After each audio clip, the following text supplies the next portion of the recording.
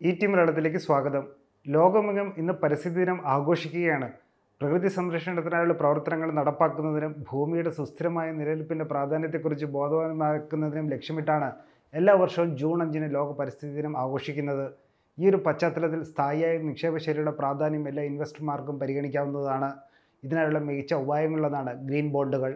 ആദ്യമായി എന്താണ് green bond എന്ന് നോക്കാം. പരിസ്ഥിതി സൗഹാർദ്ദ പദ്ധതികൾക്ക് ആവശ്യമായ പണം കണ്ടെത്തുന്നതിന് വേണ്ടി പ്രത്യേകമായി രൂപകൽപ്പന ചെയ്തിട്ടുള്ള സ്ഥിര വരുമാനം അഥവാ ഫിക്സഡ് ഇൻകം നൽകുന്ന ഫിനാൻഷ്യൽ പ്രോഡക്ട്സ് ആണ് ഗ്രീൻ ബോണ്ടുകൾ. പുനരുപയോഗ ഊർജം സുസ്ഥിരമായ കാർഷിക വൃത്തി മാലിന്യ നിർമ്മാർജനം മലിനീകരണമില്ലാത്ത ഗതാഗതം തുടങ്ങിയ പോലുള്ള കാലാവസ്ഥാ മാറ്റം ചെറുക്കുന്ന പദ്ധതികളുടെ ഫണ്ട് ശേഖരണാർത്ഥമാണ് ഗ്രീൻ ബോണ്ട് പുറത്തിറക്കുന്നത്.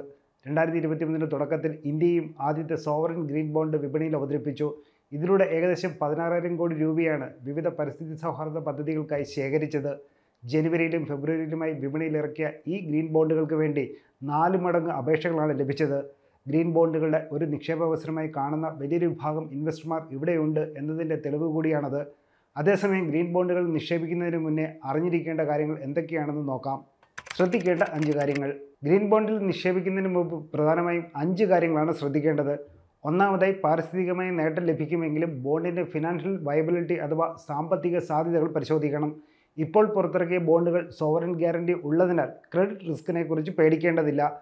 എന്നിരുന്നാലും ദീർഘമായ കാലയളവിൽ ബോണ്ടിന്റെ ആദായം പലിശ നിരക്കിലെ മാറ്റങ്ങളാൽ സ്വാധീനിക്കപ്പെടാൻ സാധ്യതയുണ്ട്.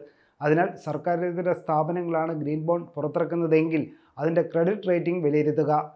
ലിക്വിഡിറ്റിയും പരിശോധിക്കണം. ഇതിനു പുറമെ നിക്ഷേപകന്റെ ദീർഘകാല സാമ്പത്തിക ലക്ഷ്യങ്ങളും എത്രത്തോളം റിസ്ക് സഹിക്കാനാകുമെന്നതും കൂടി കണക്കിലെടുക്കേണ്ടതുണ്ട്. അതേപോലെ ഗ്രീൻ ബോണ്ട് ഇഷ്യൂ ചെയ്യുന്നവരുടെ ഉദ്ദേശ ലക്ഷ്യങ്ങളും പരിശോധിക്കുക. ഇതിനായി ബോണ്ടിന്റെ പ്രോസ്പെക്ടസ് വിശദമായി നോക്കുക. ഇതിനോടൊപ്പം ബോണ്ട് ഇഷ്യൂ ചെയ്യുന്നവരുടെ വിശ്വാസ്യതയും സാമ്പത്തിക ഭദ്രതയും പരിസ്ഥിതിയോടുള്ള ഉത്തരവാദിത്വവും ഒക്കെ വിലയിരുത്തണം. ഡെവലപ്മെന്റ് ബാങ്കുകൾ പ്രശസ്തമായ കോർപ്പറേറ്റ് കമ്പനികളുടെയൊക്കെ ഗ്രീൻ ബോണ്ടുകൾ പരിഗണിക്കാം. അതുപോലെ ബോണ്ടിന് ലഭിച്ചിട്ടുള്ള തേർഡ് പാർട്ടി സർട്ടിഫിക്കേഷനുകളും പരിശോധിക്കണം. പോർട്ട്ഫോളിയോ വിവിധ സെക്ടറുകളിലായും ഭൂമിശാസ്ത്രപരമായും വൈവിധ്യവൽക്കരിക്കപ്പെടുന്നതിനായും മികച്ച ഗ്രീൻ ബോണ്ടുകൾ ഉപകാരപ്പെടും. ഒഴിവാക്കേണ്ട കാര്യങ്ങൾ. ഗ്രീൻ ബോണ്ടിൽ നിക്ഷേപിക്കുന്ന വേളയിൽ ഏറ്റവും പ്രാധാന്യത്തോടെ പരിഗണിക്കേണ്ട ചില കാര്യങ്ങളുമുണ്ട്. ഇതിൽ ഒന്നാമത്തേത് ഗ്രീൻ വാഷിംഗ് ഒഴിവാക്കുക എന്നതാണ്. തെറ്റിദ്ധരിപ്പിക്കുന്ന അവകാശവാദങ്ങളും പദ്ധതി കാരണം പരിസ്ഥിതിയിൽ ലഭിക്കുന്ന നേട്ടങ്ങളെക്കുറിച്ച് കാര്യമായ വിവരങ്ങളും കണക്കുകളും നൽകാതെ ബോണ്ടിന് വേണ്ടി നൽകുന്ന രേഖകളെയാണ് ഗ്രീൻ വാഷിംഗ് എന്ന് പറയുന്നത്. അതിനാൽ വിശ്വാസയോഗ്യമല്ലാത്ത ഡോക്യുമെന്റുകളും റിപ്പോർട്ടുകളും നൽകുന്ന ഗ്രീൻ ബോണ്ടുകളെ ഒഴിവാക്കാം. അതേസമയം പരമ്പരാഗത ബോണ്ടുകളെ പോലെ ഗ്രീൻ ബോണ്ടുകളുടെ ലിക്വിഡിറ്റി സവിശേഷതകൾ സംബന്ധിച്ച് അമിതമായി നോക്കരുത്. എന്നിരുന്നാലും നിക്ഷേപകരുടെ സാമ്പത്തിക ലക്ഷ്യങ്ങളും നിക്ഷേപ കാലയളവും കൂടി പരിഗണിച്ചാവണം ലിക്വിഡിറ്റി മാനദണ്ഡം വിലയിരുത്തേണ്ടത്. ഹ്രസ്വകാല നിക്ഷേപർ ഇല്ലിക്വിഡ് ബോണ്ടുകളിൽ നിക്ഷേപിക്കരുത്. അതേപോലെ ആദായം മാത്രം പരിഗണിച്ചാവരുത് ബോണ്ടിലെ നിക്ഷേപം. പരിസ്ഥിതിയുടെ സുസ്ഥിരതയ്ക്ക് വേണ്ടി ആത്മാർത്ഥമായ സമീപനം പുലർത്തുന്നവരാണോ ബോണ്ട് ഇഷ്യൂ ചെയ്യുന്നതെന്നും പരിശോധിക്കണം. ഇതിനോടൊപ്പം സാമ്പത്തിക മേഖലയിൽ വൈദഗ്ധ്യമുള്ള അഭിപ്രായം ബോണ്ടിലെ നിക്ഷേപത്തിന് മുന്നോടിയായി ചോദിക്കുന്നത് ഉചിതമായിരിക്കും.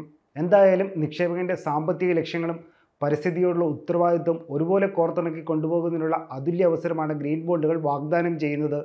രാജ്യത്തിന്റെ ഹരിതാഭികാരണ ഭാവിക്ക് വേണ്ടി മികച്ച ഗ്രീൻ ബോണ്ടുകൾ നിക്ഷേപം പരിഗണിക്കാവുന്നതാണ്.